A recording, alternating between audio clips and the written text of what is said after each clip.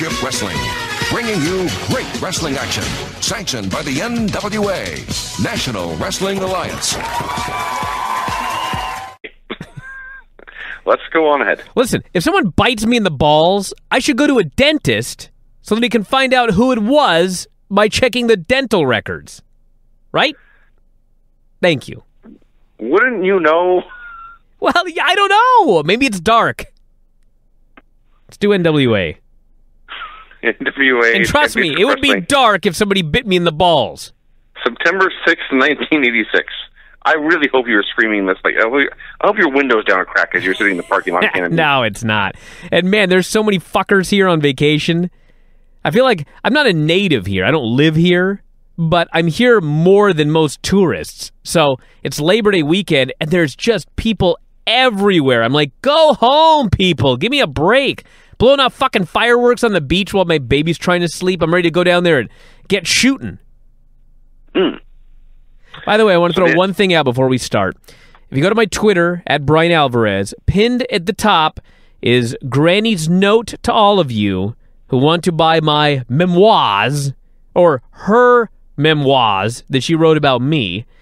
The pricing, the PayPal address, it's all up there on my Twitter at Bryan Alvarez. You can you can avoid her Facebook at all costs, but it'll give you the amount of money to send to Granny, and then she will get a copy of the days in the life of Bryan Alvarez out to you as soon as possible. So head over there to my Twitter at Bryan Alvarez and check it out. Thank you, Vinny. Okay. NWA Championship Wrestling from September 6th, 1986. The show, uh, without commercials, went an hour and seven minutes or something. So, as always, the default excuse is maybe there's a baseball game. They announced that the U.S. Tag Team Tournament will be a one-night event held in Atlanta. And Jim Cornette was back as guest host, back as guest host. And it's funny because he, of course, comes out and cuts a promo and says, "Oh, of course, the Midnight Express are going to win. There's no other team that can hold a candle to them. And they're going to win those U.S. tag titles, and before long, be world champions again." So the first match is Buddy Landell and Bill Dundee versus Johnny Cook and Rocky King. Oh, Johnny fucking Cook, dude.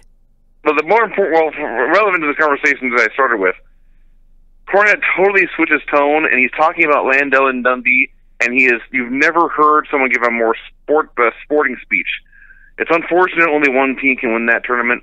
Should the Midnight Express face Dundee and Landell, I just hope we find a way to come out on top. Two minutes ago, he had all but guaranteed victory.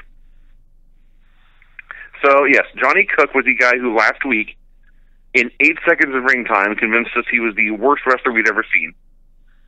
He was much better this week, and by that I mean he was horrible. He was. I here's what I wrote. Cook was 1,000 times better this week. Now he is only one of the 10 worst wrestlers of all time. Yes. So Landell finished him off with a corkscrew elbow in the figure four. They announced it later on in the show. It is going to be Ole and Arn Anderson, the Minnesota Wrecking Crew, against the Kansas Jayhawks, which, they note, is a main event anywhere in the world. Yeah, they said that a few times, and they were lying every time. that was quite the statement right there. I also liked uh, Rocky King did what I can only describe as a reverse monkey flip out of the corner, and it was actually awesome.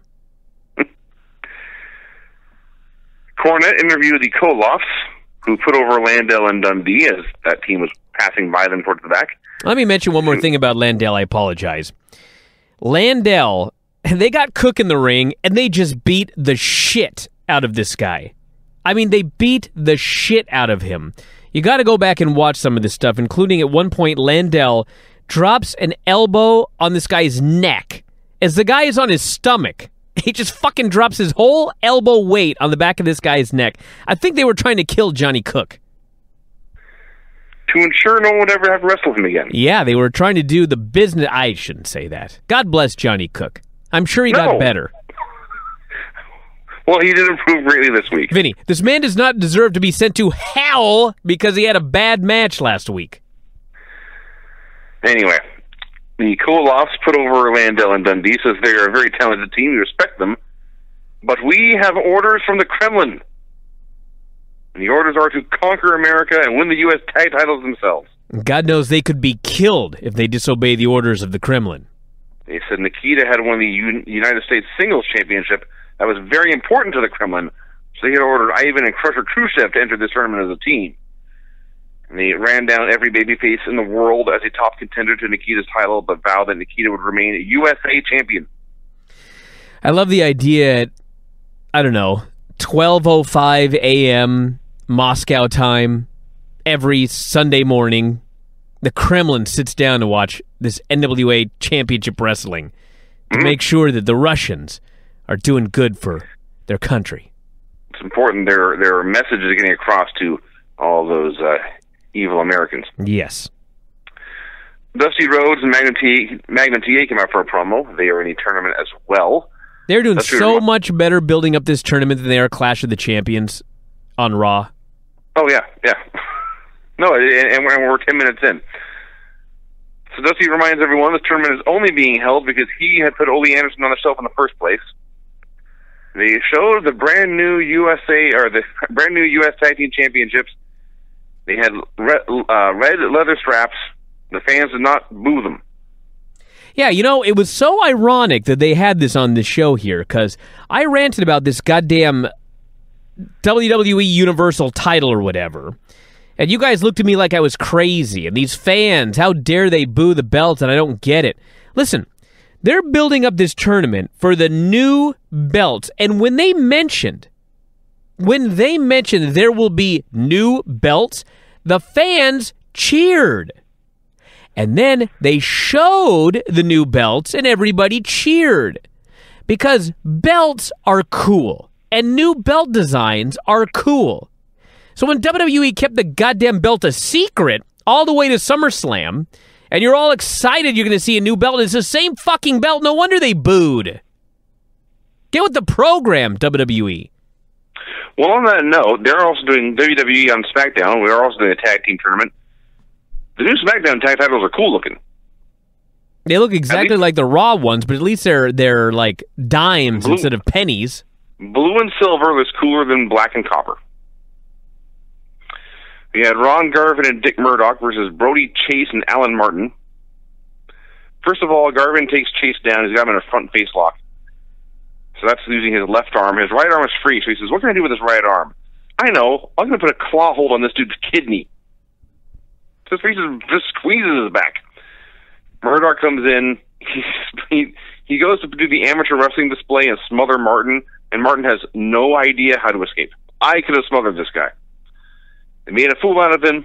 Garvin beat him with a knockout punch, and they showed this punch in super slow mo. And in super slow mo, it looks very much like a fake punch. You know, all I got out of this was that this Brody Chase fella looked like a very fat young Shawn Michaels or a fat young Bobby Eaton. And the other guy, Martin, looked like an older, fatter Dalton Castle. What a team that would be. Huh. Young Shawn Michaels and old Dalton Castle. They did not wrestle. There will be no point in Shawn Michaels' life where he is not a better wrestler than these men. No, no Or I'm, Dalton- I'm talking physical appearance. Or Dalton Castle for that matter. So Garvin and Murdoch did a promo after the uh, commercial, and Garvin mumbles and stumbles through his lines for a while, and Murdoch puts over all the teams in the field. Says he's just proud to be there, proud to be teaming with Ronnie Garvin, and with the tournament, we can't all win, and friendship goes out the window. You know, it struck me. You know who Murdoch reminded me of here? You'll never guess.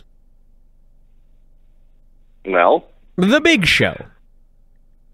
he was much taller than Ronnie Garvin. no, he reminded me of the Big Show because Dick Murdoch is a guy where when he's a babyface, he's the nicest, friendliest, Okay, yes. happiest dude. Got his arm around the guy. He's got his Yes. soft Southern accent. Such a nice fella.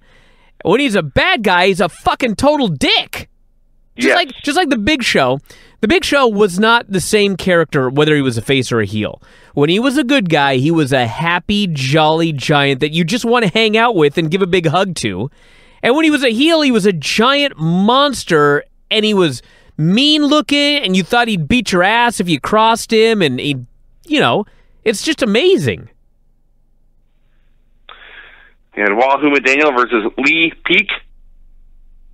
So Cornette is running his mouth when he interrupts himself. Suddenly announces he has a phone call and he has to leave, and he disappeared until the very end of the show. Well, the phone call was the rock and rolls are about to come out, and so he got the fuck out of Dodge. Well, yeah, but he would always do this when a baby face would come out, but then he'd always come back in the next segment. Well, maybe the idea was that he wanted to avoid the rock and rolls, and so he pretended that he got a phone call and he left. And then while he was gone, he called his mom, and then his mom gave him a massive guilt trip about them not having the tag team titles. That's why he came back in tears. So Wahoo beat up Lee Peak, had him pinned after a chop, but picked him up and put him in a chin lock. It's That Wahoo. pissed me off. it's Wahoo. He didn't move fast, but he moved well.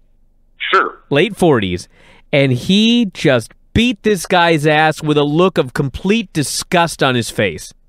Like, dude, I'm giving you the opportunity to do something, and you ain't doing shit, so I'm going to beat your ass even worse. Eventually, he won with a double arm suplex.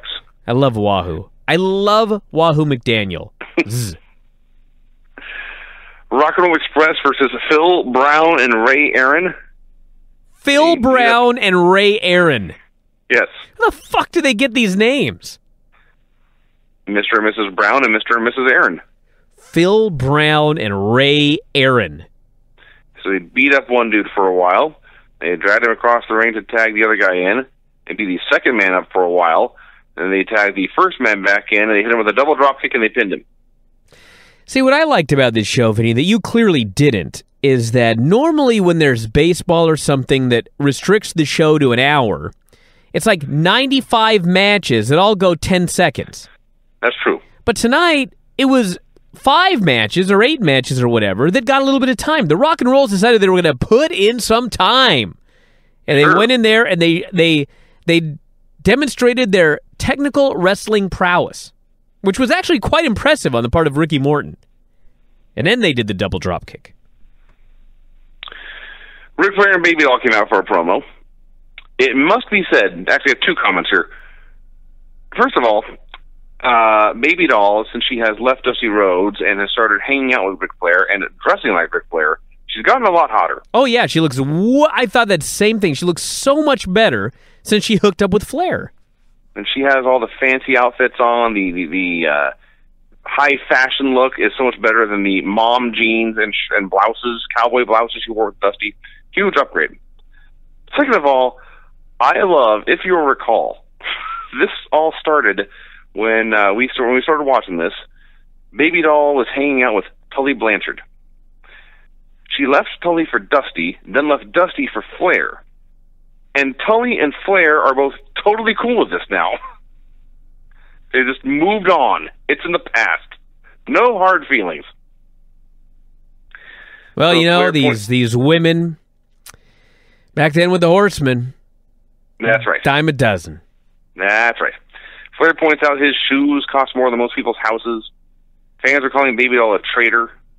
Baby Doll dubbed the Road Warriors all show and no go. Can you imagine, by the way, when you think about ECW in 1996, 1997, 1998, and here we are a mere 10 years earlier, and this girl has now been with three guys, and her gimmick is that the second guy, she was his personal, and she has left him for Ric Flair because of his money, and all the fans can come up with is, you're a traitor.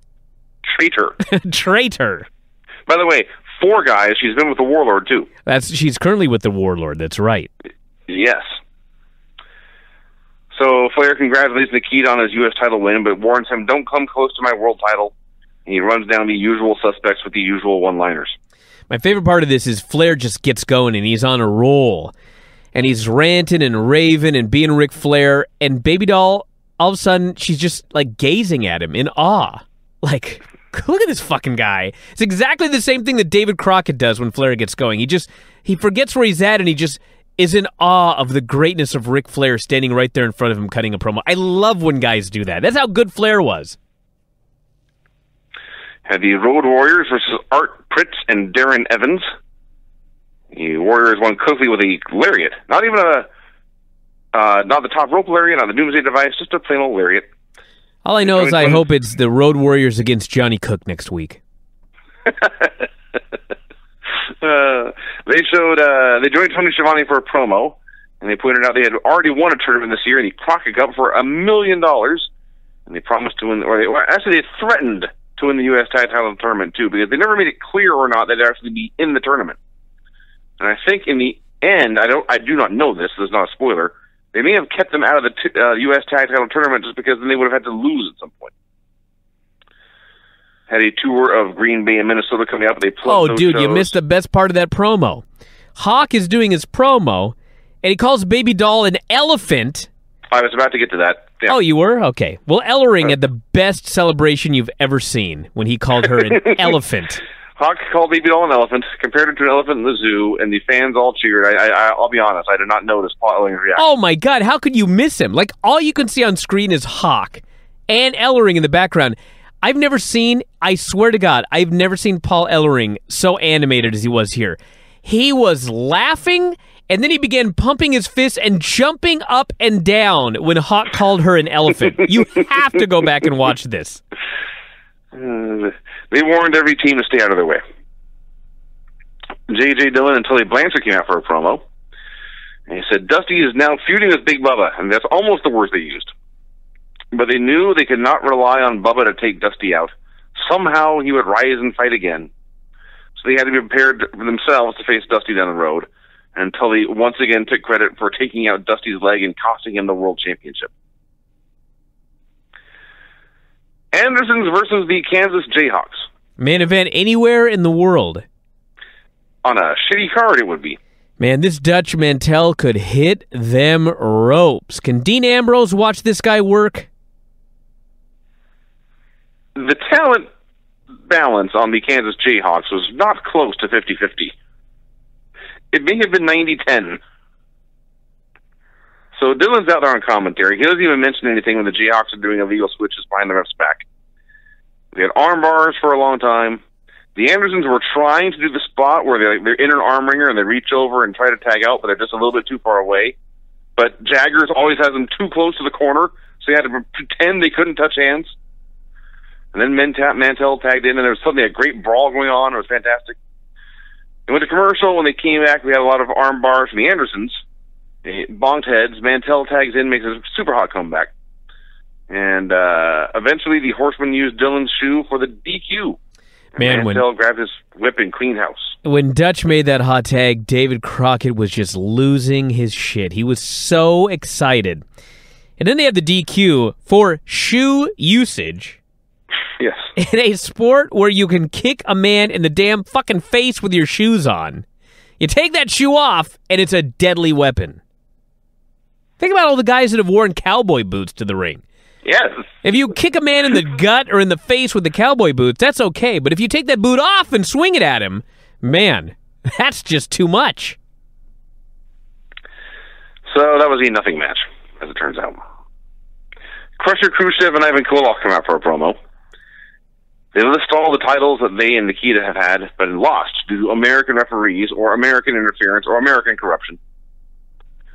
There was every team for themselves in this tournament, and that means that means that the Americans would be divided and they would fall. Because you see, as Ivan Koloff explained, in Russia, or excuse me, in, in America, it is united we stand, divided we fall. In Russia, it is united we stand, divided we also stand. Ivan was so great. Ivan is so he's quickly growing on me. They vowed to win. They stopped to exchange hugs and they left. You know what I got out of this was if you buckled down and you began going to the gym consistently, you would end up with a body like Crusher Khrushchev. Possible. He physically looked like a in shape Vinny. He was a he was just a big man. He never had swollen muscles of really of any kind. No, but he was He strong looking. He was a very big barrel chested dude. He Sure. was not a bodybuilder. Yeah. There's a reason we called you fucking shoulders Torelli. We didn't call you gut Torelli. We called you shoulders Torelli because your shoulders are very wide. It should have been Belly Torelli. Actually, that would have been. Oh man, you're so I lucky. gotta come back. I gotta come back now. you could now actually. Belly Torelli, you'd be so fucking over. Especially nowadays on Yeah. these indie shows where Oh man. Hey, I told you about my idea for Cannon Beach Wrestling. There's a That's VF right. there's a VFW hall. hmm Buddy's got a ring. Belly Torelli. Cannon Beach champion. Sure. Wahoo McDaniel came out for a promo. Schiavone noted the Russians claim that the U.S. championship, not Wahoo's national championship, should be the top contender to the world title.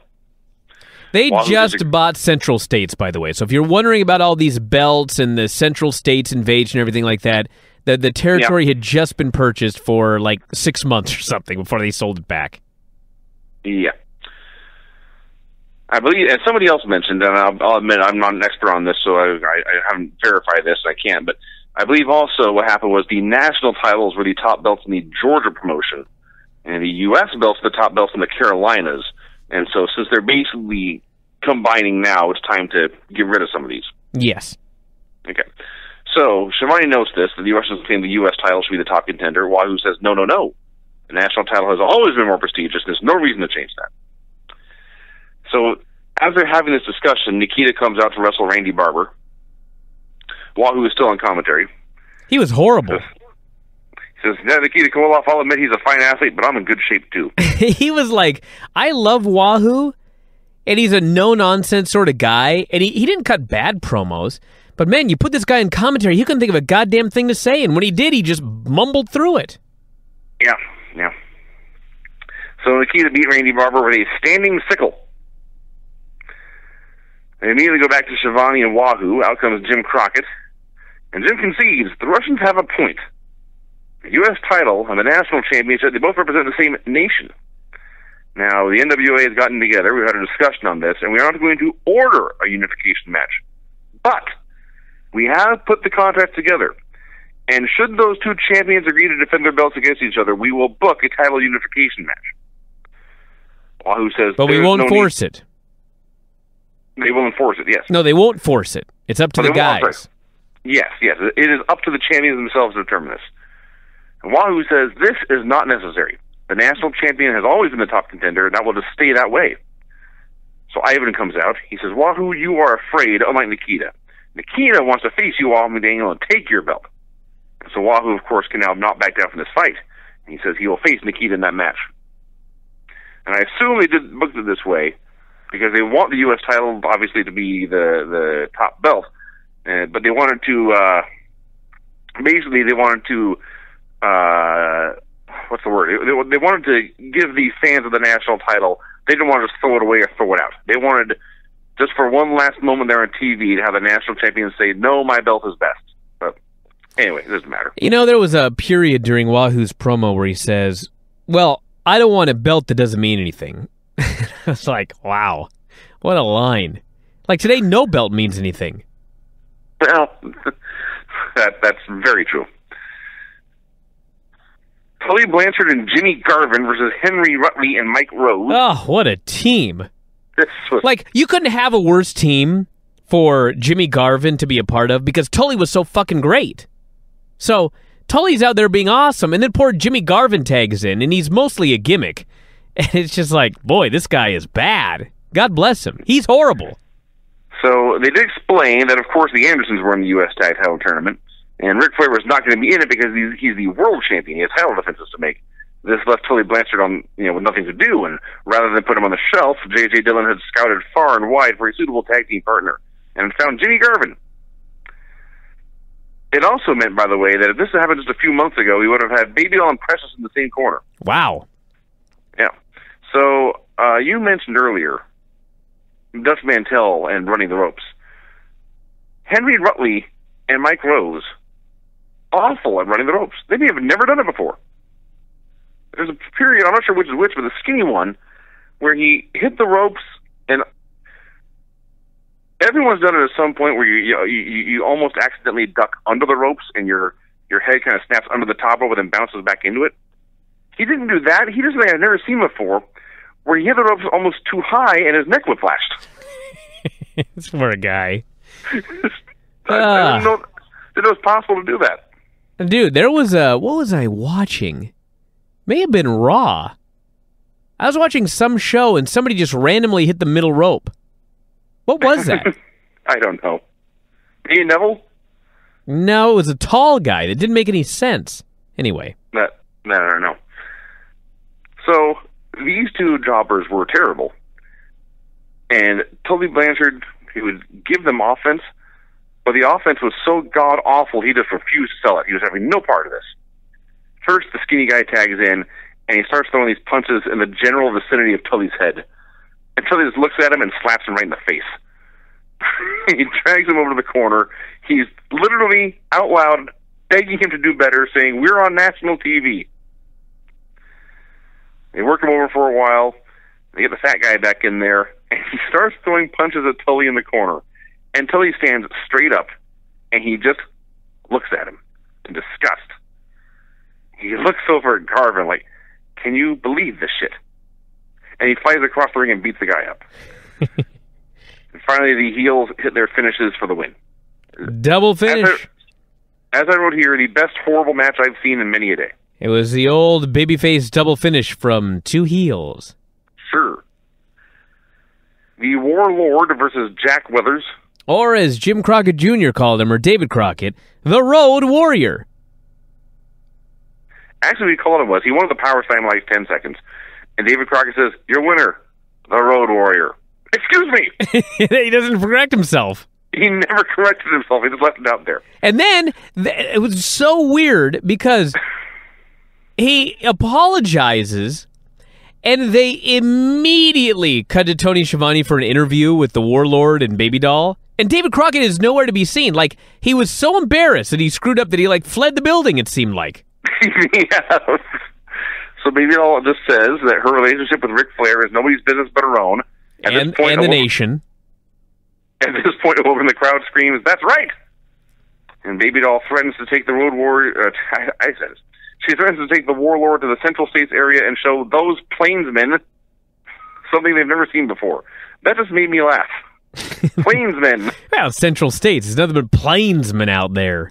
I guess so. By the way, some plainsman just walked by and waved in the window here. On the way back. I, I did. He looked like Dan Henderson. Oh, he Yeah. wants an interview. They're gone. Uh, they left.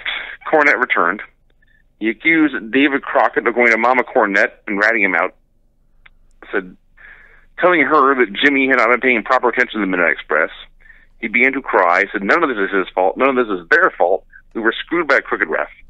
He promised to get the belts back and make his mama happy, and said this is all David's fault, and that was that. Man, it was so sad. Poor guy I was guess. poor guy was weeping. He was. So there you go, everybody. That's uh that's a show. NWA World Cha- I like this show. I know Vinny didn't like it, but I listen. We've seen a lot of bad shows. I thought this one was pretty good. It wasn't a bad show. It was just a missable show. There's nothing, nothing great happened here. Well, it doesn't look like there's another one till the twentieth, so we don't have to worry about missing one for the WWE pay per view next weekend. Although I guess we will miss one head to head with Clash of the Champions or something like that. Who even knows? But Oh, figure it out. You're gonna be mine all night long. I like the reverb he put in there to make it even more Yes. song like. All right, NWA. NWA. And by the way, you'll never guess our final song also features Granny. Really? Oh, yeah, her wrestling report. Turn this site around. Oh, it did. Man. NWA Championship Wrestling, September 20th, 1986. It showed Jim Cornette and Paul Ellering having a confrontation. Cornette in- insulted Ellering, and so Ellering slapped him. Bill Dundee and Buddy Landell came out for a promo. So he slaps him, and Cornette's in the middle of going flying, and they pause it yes. at the perfect time. Yes. It's great. His hands are flying backwards, his head's flying backwards. Can I say something about this show before we get going? Yeah. That is what we're here for. This is not much of a show in the ring. However, and I know when I say this, Vinny is going to deny it, but then he's going to think about it, and then he's going to recap it, and he's going to realize I was right. Has there ever been a 45 minute show with this many fucking awesome promos in that 45 minutes? Probably not. Dude, everybody from Flair and Dusty all the way down to fucking lover boy Dennis Yes. Condrey, who I can't even remember speaking. It may the only today. promo he ever cut. and it was a winner Yeah, oh, it was a winner. This show. I thought I thought this show in a nutshell was a lot of highs and a lot of lows. Whoever it is, in WWE that's listening to this show and brought us the headbangers, Yes. okay, do the company a favor this time and somehow get the word that everybody at the Performance Center needs to watch this episode of NWA World Championship Wrestling during the next promo class. Good call. Their minds will be blown. It's only 40 some minutes. It's 40 minutes. God, it was great. So it opened with Bill Dundee and Buddy Landel coming out for a promo. They listed all the other teams in the territory, but said those teams were just full of talk. Soon they would get the chance to win the U.S. tag titles and prove they were the best. Ran down Flair, Dusty, Magnum, everyone. Now, let's not lie. This wasn't a good promo. This is not the, the show did not peak early. However, there is something to be learned from this promo that's a very, very important point here. This goddamn promo was fun. And it really hit me when I watched this. Even when the show is bad, I still have fun Yes. watching it. Yes.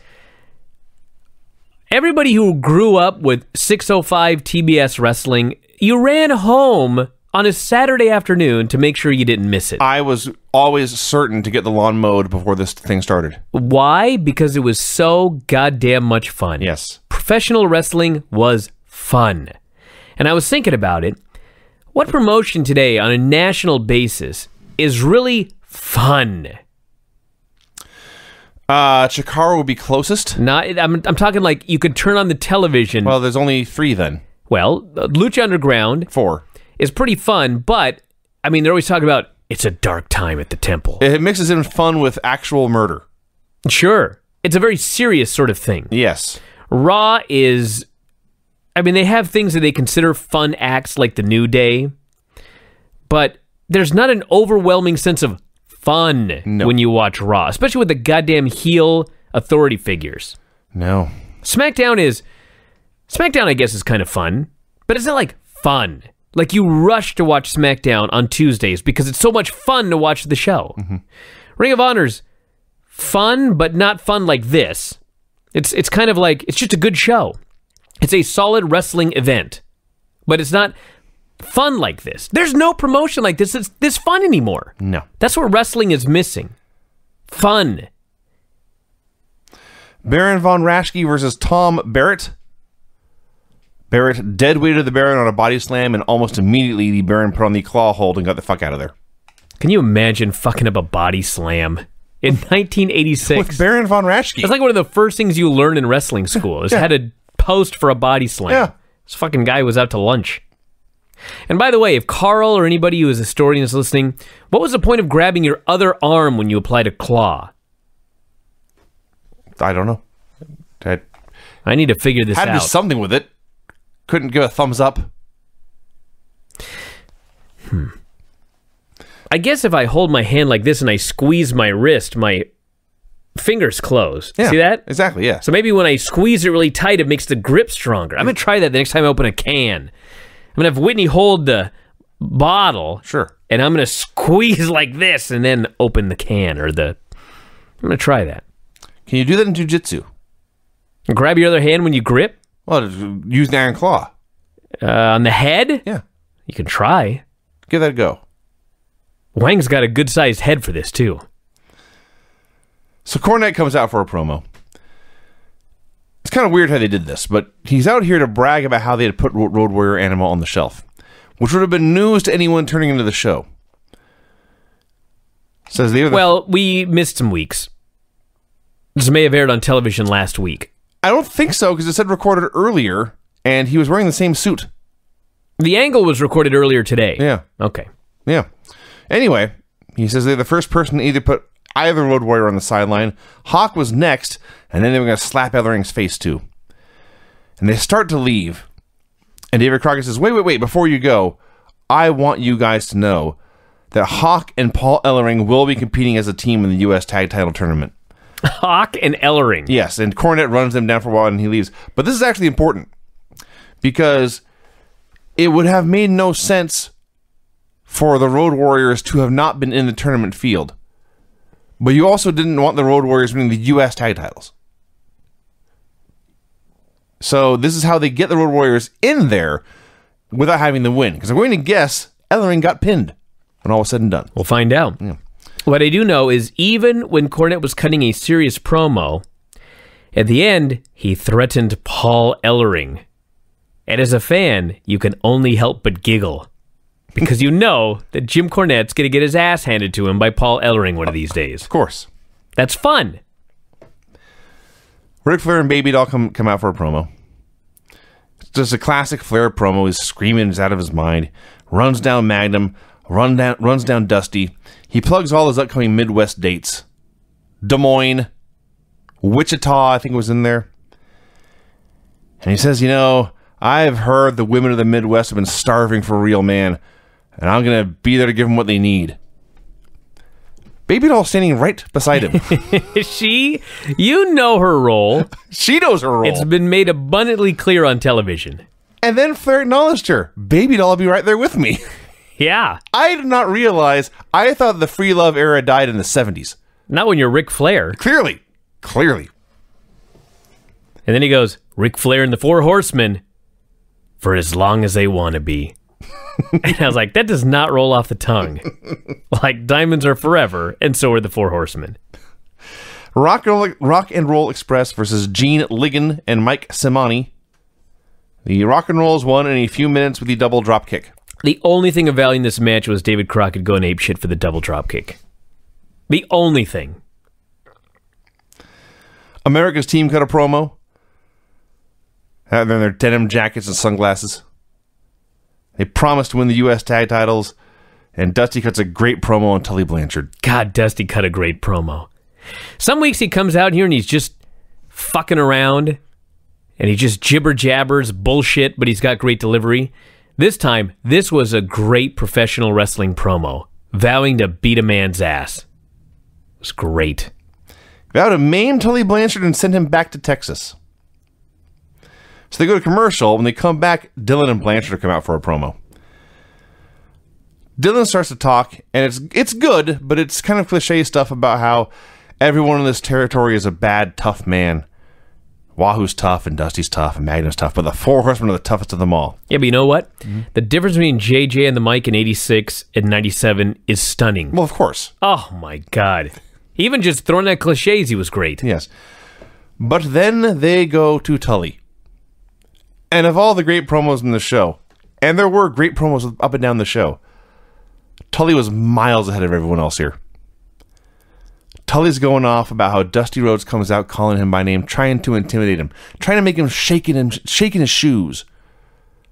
Well, he's out here in his seven hundred dollar shoes and his five hundred dollar jacket. He's not shaking, and he goes off about how his they've traded wins and losses over the years. But thinking back, yes, he he hurt Dusty's leg, which caught, caused Dusty to lose the world championship. And in recent years, he had beaten Dusty Rhodes to win the TV title, and he'd beaten Dusty Rhodes to win the national title. So no, Dusty, I'm not I'm not intimidated by you. I'm not scared of you. I'm not shaking. He goes on for a while, but God, he was great. Every week, So awesome. I am blown away by Tully. Like, everybody knows Tully Blanchard was great, but this man was underrated. Yeah. And remember a few weeks ago where he was all sullen because he lost his championship and he was downtrodden. JJ's trying to make him feel better and he's just not the same. That's over. he got his confidence back somewhere. He got better. Probably some romp with Flair. And women. Well, of course. Yes. When I say Flair and romp, It's implied there's going to be it's not implied. a half dozen women it's a there. statement. Yes. What Tully was, uh, Tully Blanchard was pro wrestling's answer to Scottie Pippen. There's a time when Scottie Pippen was like, he may have been the second or third best basketball player on the planet, but the problem was he was teammates with Michael Jordan. Mm. So he was never the guy. Tully was teammates with Ric Flair. So he was never the guy. So they go from this Tully Blanchard promo right to the ring where Arn Anderson is about to face Jack Jackson. Jack Jackson. Jack Ass Jackson should have been his. By the way, so I've mentioned many times Ole Anderson and his trunks. Right? Sure. He's got trunks and he had them designed and he wanted a, he wanted a specific number of stars in a specific pattern for no fucking reason. Mm-hmm. Well, Arn's out there in baby blue trunks. Yeah. And I'm like, this again, he had to order these. Yes. He had to specifically request of all the colors in the fucking rainbow. Can you make these in baby blue? And he wore them. And he kicked a man's ass in them. Maybe they were on clearance. You never saw Arn out there bedecked in gold and jewels. He was more of a working man who saved his money. So I presume he got these off some clearance rack at fucking Stagecoach Boots or something. Baby blue. All I know is, I don't know when. I don't know if it was a show we missed or if it was between now and then, but Arn Anderson has lost the TV title to Dusty Rhodes. And as the announcers pointed out, Dusty had even used Arn's own move, the Gourd Buster, to beat him. True humiliation. So the bell rings, and Arn turns to the announcers and lets them know whatever happens here is on Dusty Rhodes' head. And he turns around and he grabs Jack Jackson and he goes for a power slam, but he lifts him up so high and brings him up, brings him down so violently and at such an angle. I think he accidentally invented the Northern Lights bomb, just planted him right on his head. He's beating this man with arm bars and arm wringers, and a guy in the crowd shouts, "That wouldn't hurt." And Arn looks at him and dares him to come in the ring, old man. This does not improve Arn's mood. He grabbed Jack Jackson. He hit a spine buster, throwing Jack Jackson down to earth with great speed, ass first, so his head bounced off the mat, and then picked him up and gourd busted him. I believe he was trying to gourd buster him through the ring. Planted him, pinned him, five star squash match. I love when he hits a spine buster and he's hitting the gourd buster and David Crockett's on commentary and he just quietly says, There is no defense. He is defeated. There's no hope. There's no hope. No can defend this fucking gourd buster. So Arn has barely broken a sweat in this unholy carnage he has unleashed. He goes to the uh, promo desk. He, manages to, he cuts a promo about all the prices he had to pay. He was the youngest member of the Four, four Horsemen. He had to prove he belonged with the group. Then he said, Yes, I lost that TV title, but before that, I beat. And he did a long, long, long list of names, traveling the country, defending this title, and beating men's asses. He said, Yes, Dusty, you beat me one time. Maybe you even deserve to be champion, but don't you forget, there's all four horsemen are gunning for you now, and we're going to take you out by the end of the year. Another unbelievable promo. Why did they even bother doing factions for the next for the past 30 years? No one has touched this. No. Dude, why they bother doing interviews? I don't know. Yes, the four horsemen were great, it turns out. So Cornette and the Midnights come out again. okay. I didn't know that Loverboy Dennis was going to cut a promo on this show. He never has before, he may never have it again. But he comes out and I'm just looking at him. And it just struck me Dennis Condrey is the lover boy. Yes. He's out there a and he's just so fucking disgusting. He's a sex symbol. He's got a bleached mullet, mm-hmm. A brown dark beard. Yeah. His forehead is just carved up, mm-hmm. hairy chest. Yeah. He's a little fat, and he's wearing dad jeans. yeah. Just fucking standing there looking at the camera like a creep. And I'm like, this guy's the lover boy. Keep in mind, most of the time when he wrestled, he'd be bare chested, but then with a bandana around the neck. Can I repeat how fun wrestling used to be? Yes. That a man like this was the lover boy. He was he was Los Guapos before they even existed. That's right. Down in Mexico. That's right. So Cornette demands they show the angle that happened earlier today. And apparently there's this edition of uh, Saturday Night, uh, whatever it's called, Saturday Night Wrestling. But they also did a morning show. And the morning show is where the confrontation between Ellering and Cornette occurred. So they get in each other's face. Ellering insults, or excuse me, Cornette insults him. Ellering slaps Cornette and just- slaps him and walks away like he's done. And the announcers say, "Let's go to the ring." And there are the Road Warriors doing a squash with Mike Samani and somebody else. And about 30 seconds in, the Midnight Express jump Ellering at ringside. Cornette hits Animal with the tennis racket, which the announcers are sure to point out is loaded. And as uh, Hawk and Dennis Condrey are messing around outside, Bobby Eaton drops a series of top rope knee drops to the back of Animal's head. Talk the real highlight of this. Condrey. Before that, Oh. Cornette and Ellering are having their deal, and Schiavone is standing in the background with the biggest shit eating grin, loving every moment of this back and forth. Ellering slaps Cornette, and Cornette does not take a bump, he takes a pratfall. Yeah. He leaps in the air, swings his arms and legs around, falls to the earth. So they go back, and Cornette's still there with the Midnights. And all of a sudden, to my shock, the lover boy grabs the mic mm-hmm. and he cuts a promo. Road Wars. You said you had trouble finding opponents.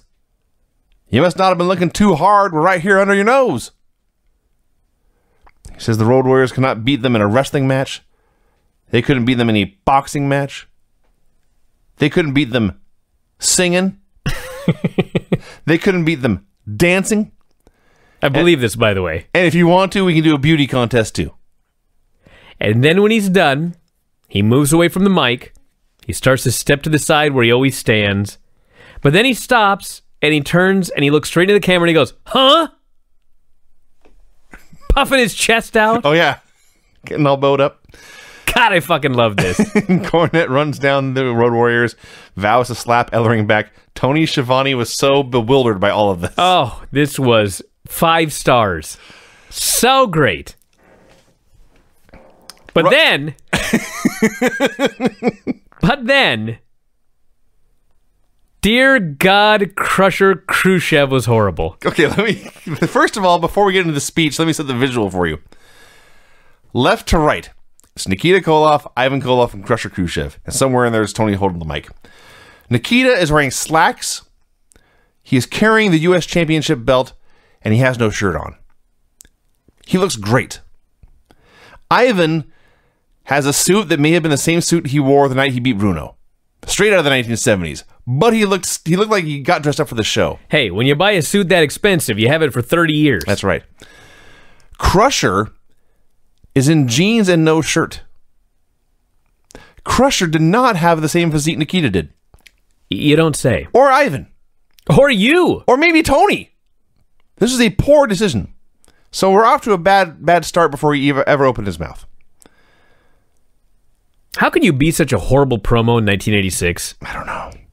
That takes talent to be that bad. He was horrible. I didn't even write down anything he said. Why wasn't he just a mute? I don't know. Barbarian was. Actually, no. Barbarian at least growled, which is better than I than uh, Crusher. So I didn't write down one word he said. I don't remember. It doesn't matter. I do know that Ivan then spoke and he cut a hell of a promo. Oh yes, he did. As he always does. as he always does. Says they're going to win the U.S. tag titles, then we'll be top contenders of the world titles. Actually, explained he was talking about the Midnight Express and the Road Warriors killing themselves for uh, for the world championships. He says we could do that too, but we are going to use our brains. And he points to his head, where his brains are. He says we, rather than get into a violent, bloody war like the Midnight Express and the Road Warriors are doing, we will just go win this U.S. tag title tournament. Then we'll be top contenders.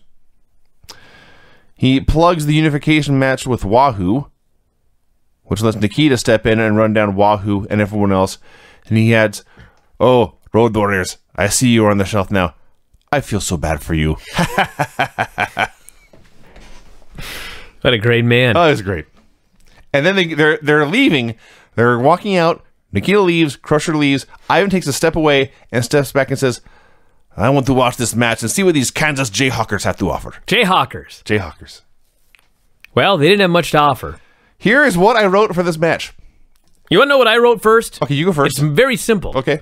I wrote Tony Zane and Pablo Crenshaw versus Kansas Jayhawkers. My notes consist entirely of this sentence Can't get over Bobby Jaggers. Okay, I guess mine I mine may actually have more detail than that. Here's what everything I wrote. Kansas Jayhawks versus Tony Zane and Pablo Crenshaw. Nothing happened for a while and then the Jayhawks won. Basically, Okay. how is Bobby Jaggers not a jobber? I mean, I've seen fat guys before, but it's like he's fat, but he's talented. Sure. I'm sure Bobby Jagger's a great guy. Maybe he's much more talented than he's shown ever on this show. I was not blown away by Bobby Jaggers here. Dick Murdoch comes out for a promo. This I was blown away by. what a great baby face. He lists all the champions of the company. Some he likes, some he doesn't. He knows a lot of people are gunning for Dusty Rhodes in the TV championship, but he wants Dusty to know he's got friends on his side too. Speaking of friends, he says in this U.S. tag title tournament, at some point you're going to see friends lining up ac- across each other from the ring. And at that point, friendship's going to go out the window. It's too much at stake, too much on the line. This title's too prestigious. Now I'm entering this tournament with my tag partner Ronnie Garvin. I'm happy to have Ronnie Garvin as a top, as a tag partner. I know he's a tough man. I've I've seen what he can do, and hopefully we'll come out on top. He says, We're going to do our dead level best. That's win right. those U.S. tag titles. Let me speak on this. So I'm sitting there. Saw a lot of great promos, excellent promos. Best promos I've seen in 45 minutes, and I don't even know how long.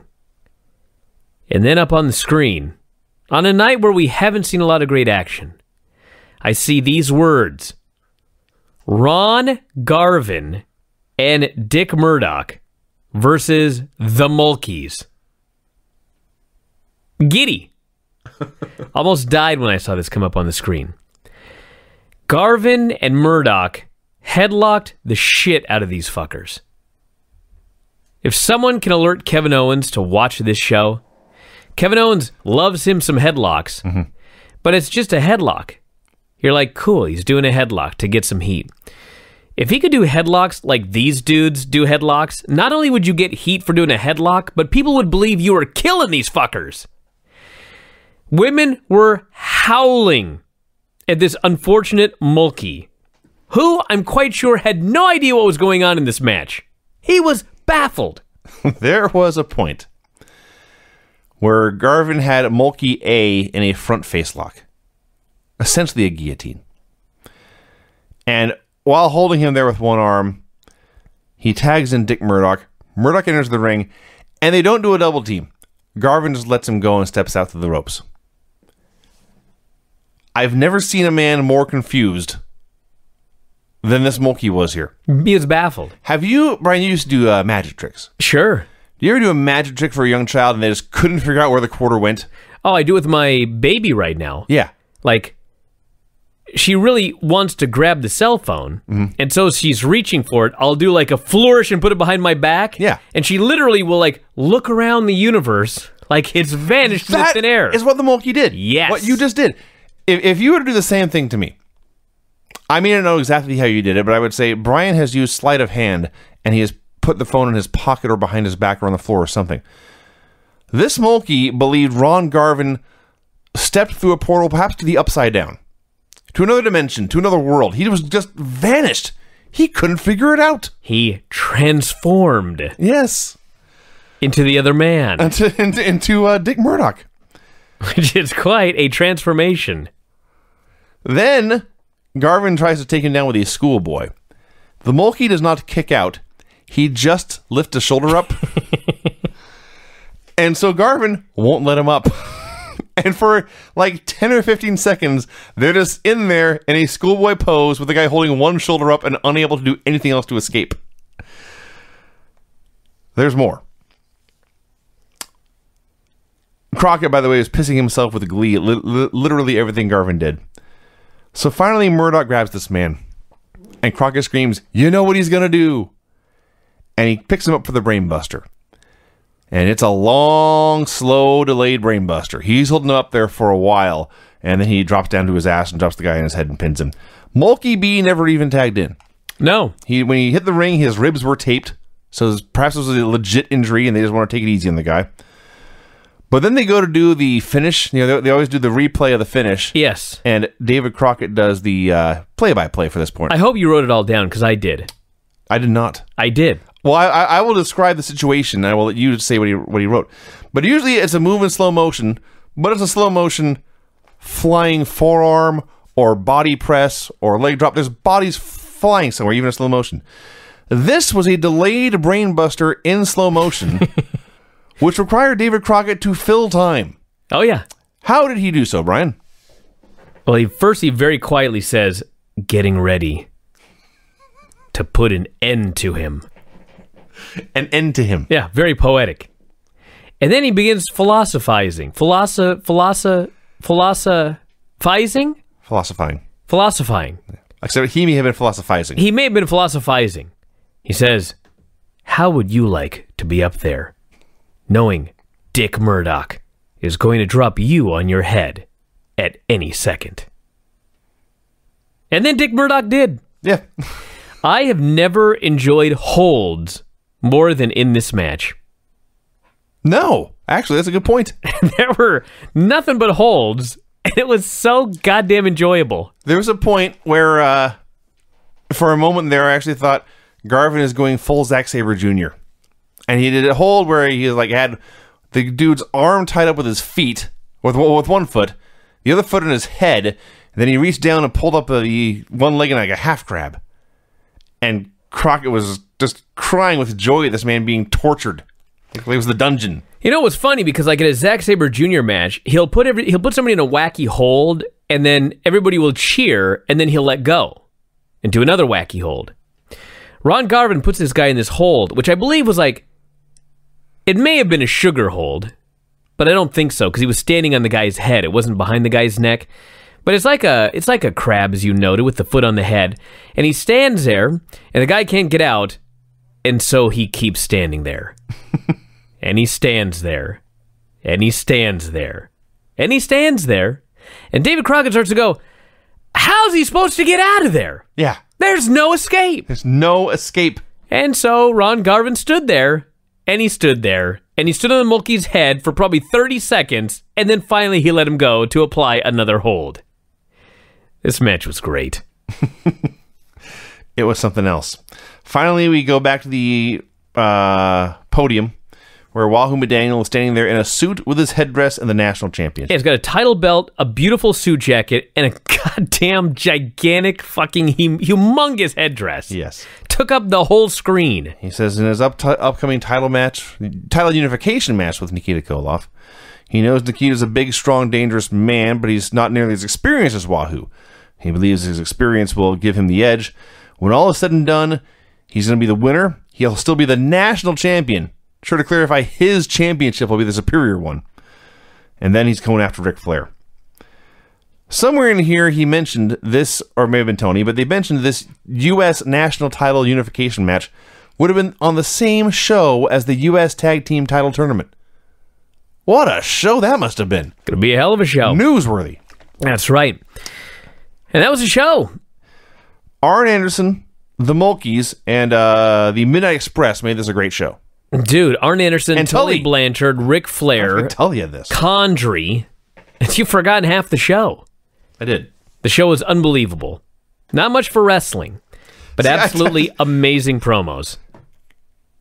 I'm not even sure. was- I, I can't argue. I, I- I can't agree with that. It's not much for wrestling because I love the Arn Anderson squash match. I love this squash match. Well, yeah. There, well, I mean, if you love a good squash match, And this was a great show. There was no, there was no long Ric Flair versus Ronnie Garvin. There was no 30-minute match. drama. No, it was only forty-five minutes. But There- damn, some great promos. Great violence.